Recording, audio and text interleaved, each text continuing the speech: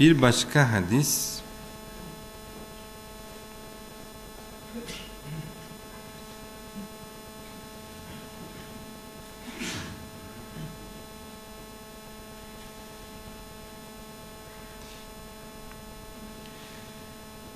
Dünya için ebediyen yaşayacakmış gibi ahiretin için yarın ölecekmiş gibi çabala veya çalış.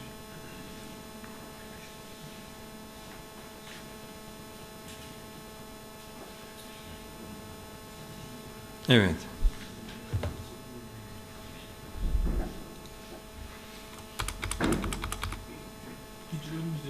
Hiç ölmeyecekmiş gibi dünya, yarın ölecekmiş gibi ahiret için.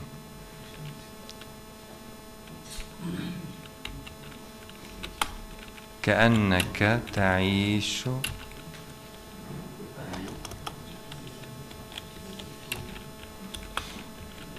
Ebeden. Bu da çok bilindik bir ifadesi var.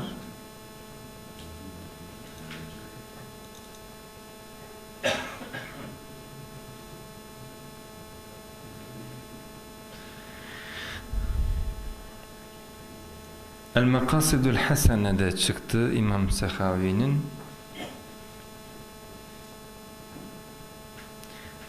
وَقَدْ أَفْرَدْتُ فِي هَذَا الْحَدِيثِ جُزْءًا Bu hadis için diyor ben bir cüz yaptım yani küçük bir kitapçık yaptım. وَهَذَا أَصْلُ مَشْتَهَرَ عَلَى أَلْسِنَةِ الْعَوَامِ Avamın dilinde şöhret bulan hadisin aslı şu اِعْمَلْ لِدُنْيَاكَ Dünyan için amel et كَأَنَّكَ تَعِيشُ أَبَدًا Ebediyen çalışacakmış, yaşayacakmış gibi. وَعْمَلْ لِآخِرَتِكَ Ahiretin için amel et. كَأَنَّكَ تَمُوتُ غَدًا Sanki yarın ölecekmiş gibi.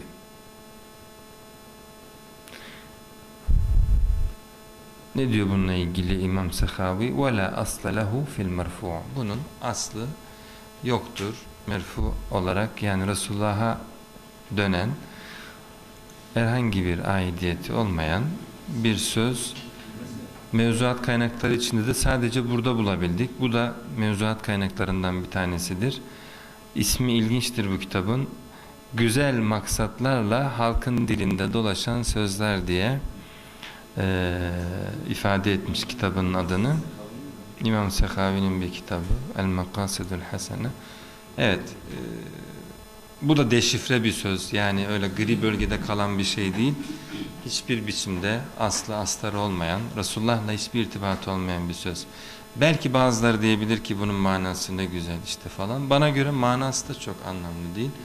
Çünkü hiç ölmeyecekmiş gibi dünya ifadesi çok e, saçma sapan. Bununla, bunu ne bir ayetin paralelinde açıklayabiliriz. Ne bir hadisin, sahih bir hadisin gölgesinde buna yer bulabiliriz. Bir de hemen ölecekmiş gibi ahiret. Bu tam bir kaos. Yani adam hangisini yapsın? Hem dışarı git hem içeri gel demek gibi bir şey bu yani. Hiçbir tercihin yok. Deli divane ol, ebediyen burada kalıyormuş gibi burayı için çabala. Ondan sonra hemen ölecekmiş gibi ahiret içinde aynı yok. Kırk kaç parça olacaksın der adam yani bu yok böylesi. Yani sözün kendi içinde mantıksal bir tutarlığı yok. Ama bazıları sözü şöyle anlıyor. Ee, bir sözün nasıl başka yerlere çekilebileceğini de bir örneği olabilir. Yani ebediyen kalacakmış gibi dünya için deyince yani Aa, nasıl olsa burada ebediyen kalacağız. Çok fazla yüklenme dünyaya. Yarın da yaparsın bu işi. Hani vaktin çok olunca bir işi ötelersin ya yarını Nasıl olsa elde edeceğimi hep elde ederim. Sonsuz buradayım ya. Her şeye kavuşurum. De bunu zühd olarak yorumluyorlar. Ondan sonra ha bunu zühd yorumlayınca mantıksal olarak ifade tutarlılığına kavuşuyor. Yani bu kez Resulullah'ın kun fid dunya sahih bir hadiste kun fid dunya ke enneke garibun ev abirus sebil. Bu dünyada sanki bir yabancı gibi gelmiş yahut yol geçen uğrayan kimse gibi ol ifadesi tamam iki gece kaldığın otelde nasıl duvara saat asmıyorsan, boya badana yapmıyorsan, yatak çarşaf ne bileyim karyola vesaireye girmiyorsan, iki gece kalıp gidiyoruz diyorsan, dünyadaki duruşunu da, geçişini de böyle gören bir anlayışı Resulullah insana anlatıyor. Kur'an'da da Cenab-ı Hak böyle diyor. اِعْلَمُوا اَنَّمَا الْحَيَاةُ الدُّنْيَا لَعِبٌ وَلَهْوٌ وَزِينَةٌ وَتَفَاخُرٌ بَيْنَكُمْ وَتَكَاثُرٌ فِي الْأَمْوَالِ وَالْأَوْلَادِ كَمَثَلِ غَيْثٍ أَعْجَبَ الْكُفَّارَ نَبَاتُهُ ثُمَّ يَهِيجُ فَتَرَاهُ مُصْفَرًّا ثُمَّ يَكُونُ حُطَامًا Allah Azze ve Celle bunu bir oyun, eğlence, kendi aranızdaki karşılıklı bir iftihar, birbirinize üstünlük yarışı vesaire geçici bir süreç. Misalini nasıl veriyor? Yukarıdan damlayan damlanın yerde yeşerttiği bir bitkinin sonra sararıp çöpe dönmesi. Dünya hayatı buna benzetiyor Allah. Şimdi Allah Azze ve Celle'nin böyle dediği, Resulullah'ın böyle dediği bir yerde öyle hiç ölmeyecekmiş gibi dünyaya milleti zorlamak e, saçma sapan bir şey. Bir de böyle çok akılcı hoca efendiler var ya böyle yani Müslüman işte dünyaya da şöyle girdiği zaman illaki bu hadisten bir geçiyor. Çünkü çok işine yarıyor. Ama nedense hadisin yani uydurma da olsa ilk bölümüne bol gaz çekiyor. İkinci bölümde gazdan ayağını çekiyor hemenlik. Ee, evet. Hocam şimdi biz bunları ilk cumaya giden insanlar bu hadislerin çoğunu duymuştur. Yani zaten bir veba. Dolayısıyla biz bu dersleri sanki biraz daha çoğaltmamız gerekiyor gibi. Elhamdülillah o dönem geride kaldı. Bunların hadis diye minberlerden, hutbelerden diyanet eliyle çok yazık, çok vahim. Yani o dönem diyaneti yöneten veya diyanettekileri sevk ve idare edenler adına gerçekten yüz karası yani. Ee, o zamanlar dinlediğimiz hadis ilmi içerisinde böyle deşifre, bu kadar bilindik uydurma sözlerin Resulullah'ın minberinden insanlara aksettirilmesi gerçekten dramatikti, korkunçtu. BB 043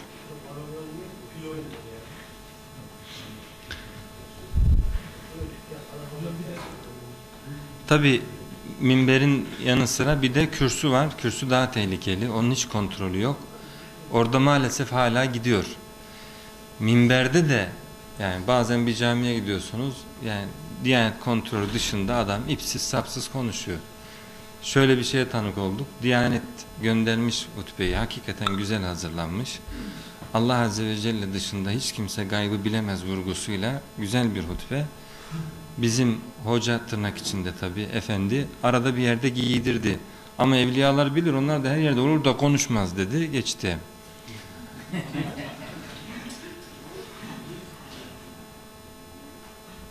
Yani işte yani hadi bütün cemaatlerden vesaire bu tür insanlardan da imamlar olsun böyle hani Diyanet'in şu anda tanıdığı fırsat eşitliğinin bir de böyle bir handikapı var.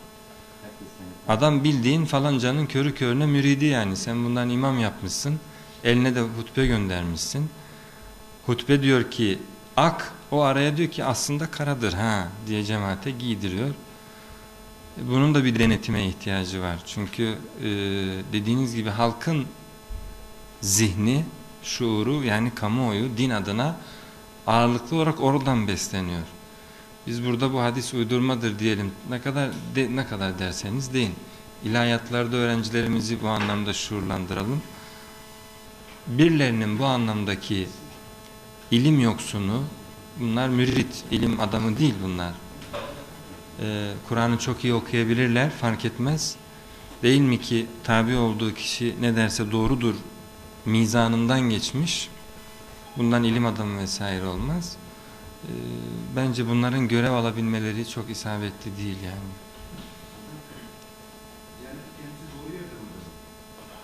Eskiye nazarla e, hutbeler açısından söyleyecek olursak e, muazzam buluyorum şu anki duruş noktasını, isabeti açısından. E, sahih sünnetin, doğru bilginin yerli yerince ifade edilmesi, tabi tanık olabildiğim kadar hutbelerine, e, refleks olarak, tutum olarak da e, eskiye nispetle ist oldukça istikamet üzere. Tabi eksiklikler çok fazla, e, bunların ıslah edilmeye devam edilmesi lazım. Hani yapısal olarak diyorsanız onu çok fazla bilmem. Ee, he?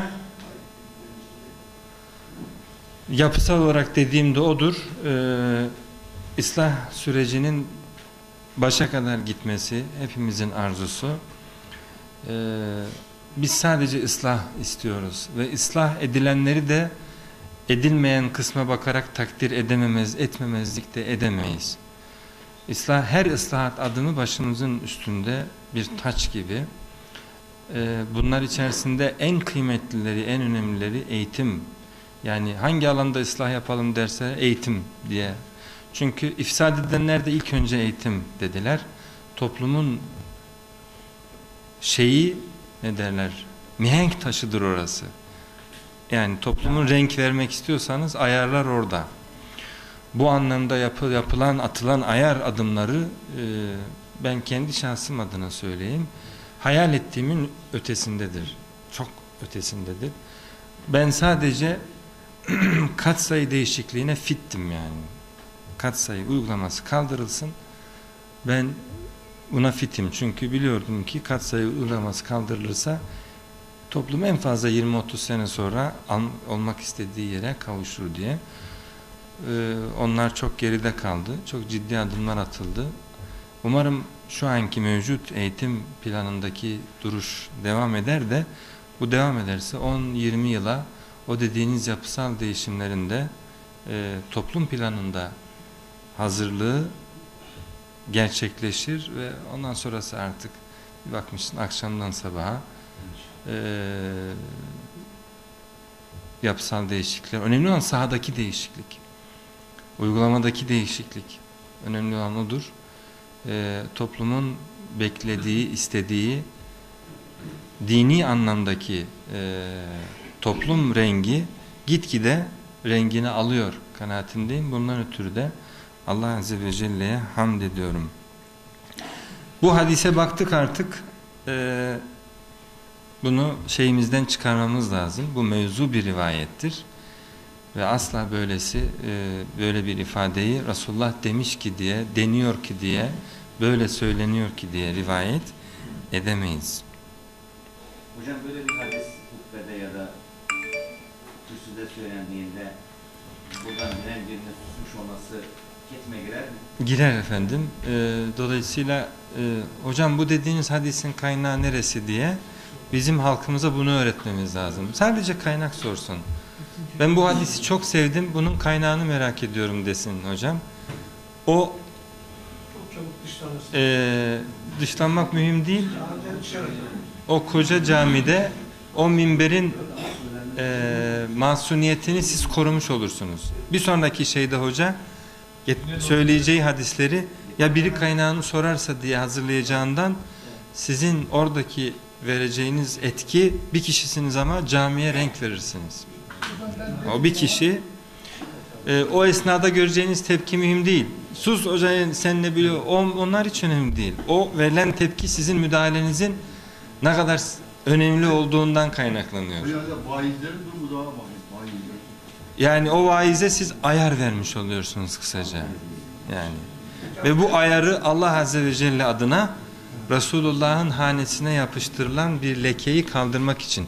Hadisçiler böyle görüyorlardı. Yani Resulullah'ın bir hanesi var burada. Temiz değil mi? Güzel bir evi var. Biri getir buraya pislik bırakıyor. Tahammül eder misiniz? Etmezsiniz. O pisliği oradan kaldırmak istersiniz. Dolayısıyla Resulullah adına ona ait olmayan bir sözün isnat edilmesi de böylesi onun hanesine bırakılan bir pislik gibidir. Bu pisliği tahammül edemememiz lazım.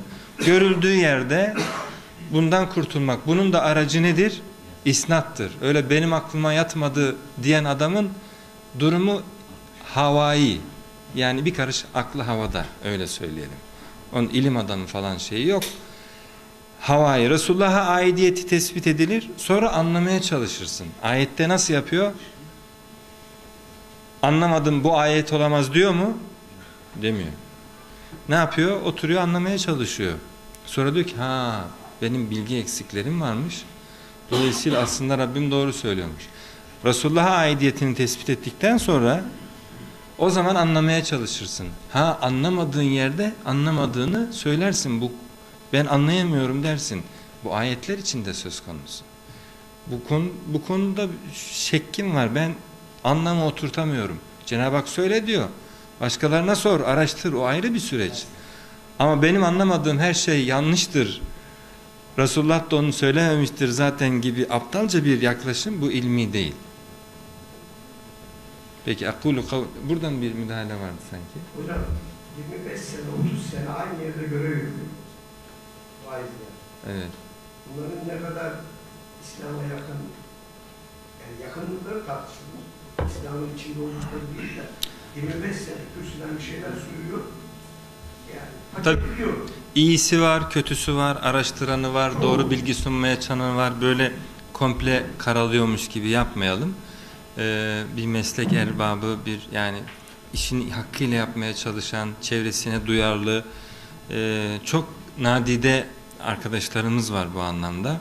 Ama e, aldığı böyle uyduruk dost, bostan, gülistan, cart, cürt kitapları üzerinden menkıbeler şunlar bunlar üzerinden halkı eğlendiren ve buralardaki işte uydurma hadisleri kaynağını hiç böyle halkı coşturayım, şey yapayım, hoplatayım, zıplatayım, ağzıma geleni söyleyeyim tarzı hatipler bunlar işte beş para etmeyen cinsten.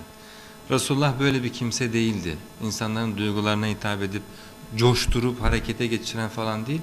Akletmelerine hitap eden, serin kanlı, basiretleri üzere yol almalarını bekleyen sakin, düzgün bir insandı. Akulu kavli hâzâ ve estağfirullahal azîme li ve lekum ve lisairil mu'minin.